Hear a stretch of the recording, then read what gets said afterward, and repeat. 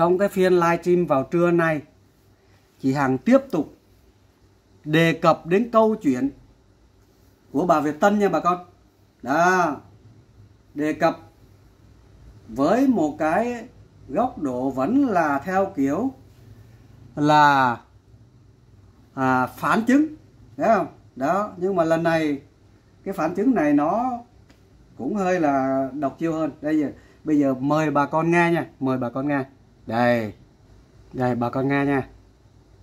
À ủa đâu đâu rồi đâu rồi đâu rồi? Đây đây đây đây đây đây đây đây đây đây đây đây đây. Đây mời bà con nghe nha. Nói tôi cười. Sao không đi báo công an? Ủa sao biết tao không đi báo công an? Xung quanh ta. À khoan khoan. Tức là chị nói rằng là họ là người ta thắc mắc sao chị không đi báo công an? À tôi sao biết báo công an đó. À tức là chị nói rằng là người ta thắc mắc tại sao không đi báo công an. Và chị khẳng định chị có đi báo công an. Đó là cái nội dung thứ nhất. Rồi chúng ta tiếp nha. À nói chung có nhiều nội dung mới nha bà con. Bà con chú ý lắng nghe nha. Lắng nghe thật kỹ. Chẳng lẽ bây giờ người ta đến đại nam đông như vậy á bởi vậy nó đặt lên tới lo cho báo công an. À, ai mà mất lịch sự dữ vậy còn có hay không? À như vậy rằng là báo công an sau. Sau đó mới báo công an. Không? Đó cho lúc đó chưa báo công an để mà coi như tóm là tên Việt Tân này. À. Không? Đó. Rồi chúng ta nghe nghe tiếp nha. Đó tức là chị trả lời một số người bảo rằng tại sao chị không đi báo công an? Đây. Để cho nghiệp vụ người ta làm. Đó mà đó là hôm nay có ai thấy bà dịch tân dịch dịch đó đâu không vậy? Đó tức là chị nói là cho đến ngày hôm nay không ai thấy bà Việt Tân nữa. Ý chị là gì? Ý chị là có lẽ là bà ấy đã bị là cơ quan điều tra túm cổ rồi không? Đưa vào T30 rồi cũng không chừng. Đó, đó ý chị là vậy nha chứ không phải ý tôi nha. Chứ không phải phải nói lên nha. Đó. Hả? Có không? Đó đó đó. Tức là chị nói là giải thích theo cái phương pháp phản chứng nha. Tôi là phương pháp này tôi đã nói rồi.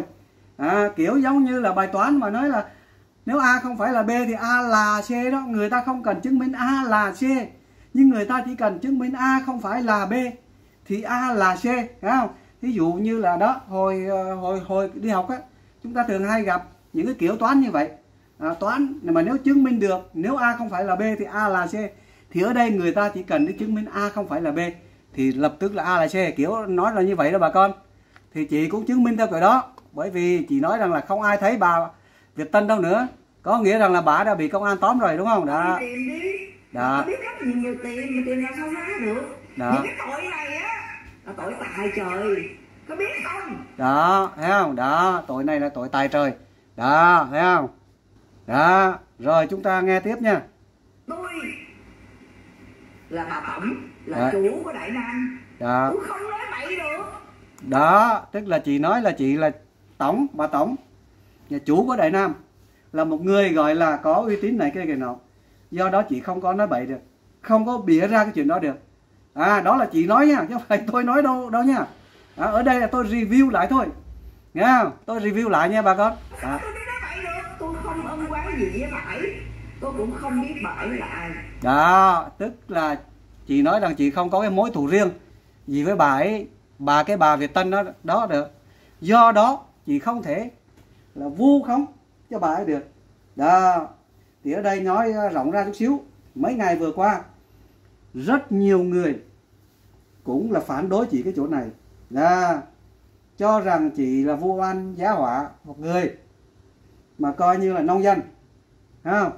Điển hình ví dụ như trên Facebook Nguyễn Sinh thì nói rằng là một người ở dưới quê tự nhiên là lên Đại Nam là bỗng biến thành Việt Tân. À, thì bây giờ ý của chị nói là chị không có vu oan giá họa cho là cho Tôi bà Việt. Tôi cũng không biết ông Minh Tuệ là ông nào đó mà có gì? Tôi đâu có hán đâu. Đó. không nhưng những cái chuyện nhạy cảm này buộc tôi phải xử lý. À chị cũng nói luôn là không biết ông Minh Tuệ là ông nào. Nhưng mà chị phải xử lý. À chị phải xử lý bằng cách báo công an. Đây là tôi mở ngoặc thêm à, để giải thích rõ cái ý của chị Hằng nha. Đó thì tùy bà con nhận định. Đó thấy không? Đó. Là tôi tự vệ mà quý vị thấy không tôi tự vệ. Bây giờ quay qua là kéo thôi là cùng phe với bả là trời ơi. Đó thì bây giờ à, hình như có một số người bảo rằng chị Hằng là cùng phe với bà Việt Tân. À, bởi vì họ phân tích cái chỗ mà gì? Chỗ mà bà Việt Tân đến nói rằng là à, tổ chức Việt Tân giao nhiệm vụ kêu bãi đó giao nhiệm vụ cho chị Hằng. À đó. Nhiều người nói là như vậy phân tích cái chỗ đó. À, nói tại sao cái bà này lại là bà dùng cái từ gọi là giao nhiệm vụ, thấy không? Phải chăng? Cái cách nói giao nhiệm vụ đó cho thấy chị Hằng là nằm trong cái tổ chức của Việt Tân. Đấy là người ta phân tích nha, tôi thuật lại. Đó, thì ở đây bây giờ chị phán bác, chị nói rằng là à là coi như là không phải, chị không liên quan gì đến hết nha. Thân thiện ủa một con người sống trong có tình cảm chứ, mình thấy người ta khóc, mình thấy mình cũng cứ rung động chứ, mình cũng à rồi. Thì chị nói rằng là ở đây thì giải thích cái hành động mà coi như là ôm ôm lưng cái bà này ấy, thấy không? Thì chị cho rằng đó là cái à, cái cái cái cái à, cái lòng gọi là là từ bi thấy không? Cái lòng nhân đạo của chị. À, thấy bà khóc. Thì chị ôm ôm xoa xoa lưng như thế vỗ về bà này. Chứ không phải là vì trong cùng một tổ chức thấy không? Đó biết. Người ta chuyện gì người ta khóc khi người ta đề nghị mình những cái chuyện đồng trời thì cái phản ứng gì? Đó tức là chị nói đến lúc đầu thì chị vỗ về an ủi. Nhưng mà sau khi mà đề nghị những cái chuyện đồng trời thì chị phản ứng. Đó hôm nay là giải thích. Có nghĩa rằng là chị vẫn bảo lưu cái quan điểm rằng là đó là bà Việt Tân nha. Đó tôi nói luôn cho những cái người hay thiếu hiểu biết phải mở cái não ra. À. nha. hiểu siêu là cái gì không? Đó cần phải hiểu cần phải hiểu chỉ là CEO à, và cần phải hiểu CEO là gì không? CEO tức là người điều hành một cái công ty. Đó bà con ạ. Cái từ này là cái từ du nhập từ à, Mỹ về trước đây thì chúng ta chỉ có là cái từ gọi là tổng giám đốc thôi. Giám đốc và tổng giám đốc. Nhưng bây giờ là người ta dùng cái từ CEO ha. À. mà nếu như trong cái khoảnh khắc đó mà tôi lịch sự quá tôi gật đầu gật đầu xong rồi chị dân cho em số điện thoại đi. À, về em sẽ liên lạc với chị. Rồi cái mốt con mẹ giật giật nó bị bắt á tự nhiên á bà này hôm bữa mới lại ra nè nó chụp hình với bà hằng nè. Đó tức là ý là chị chị nói là chị à, cũng phải phản ứng đó, phản ứng. Đó phản ứng căng để mà tránh cái sự liên lụy không? Đó. À, lau nước mắt cho nè cái lại du không cho tôi đó. À, cái đầu CEO không có đơn giản chị đó đó. Đầu CEO là coi như không đơn giản chút nào đó. À, bà con thấy không? Đây rồi tiếp này tiếp. Nha Đó. không đơn giản đâu nha. Đó. nếu đơn giản thì đã không có câu chuyện thế này hôm nay. Đó. Có đúng không? Cho nên tôi khuyên quý vị một cái đầu tiên. Bây giờ công nghệ hiện đại lắm. Đó. Thì tóm lại là gì tóm lại là ở đây, chị vẫn khẳng định bà đó là có tuyên truyền với chị, đòi lật đổ chính quyền. Dạ. nhưng mà lúc đầu thì chị không biết. Chị cứ nghĩ rằng một người bình thường. Do đó chị vỗ về, chị động viên khi thấy bà ta khóc. Thì thấy cũng tội, ha.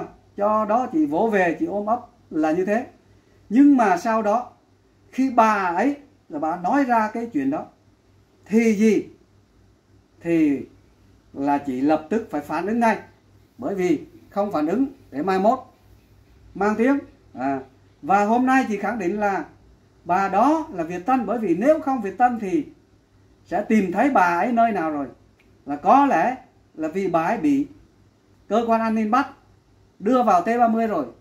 Do đó là mới không thấy bà này chứ còn bà này không phải Việt Tân thì sẽ theo theo tôi tôi tôi tôi tôi mở rộng cái này ra thêm chút xíu thì các kênh YouTube sẽ đến gặp bà này rồi phỏng vấn này kia cái nọ. Ai? Đại khái là như vậy. À, cho cho nên là bà này chắc cú một trăm phần trăm.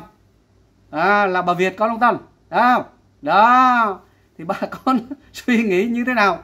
Thì cứ comment bình thường. Còn quan điểm của tôi ở đây là tôi thuật lại review lại cái lời của chị Hằng nha.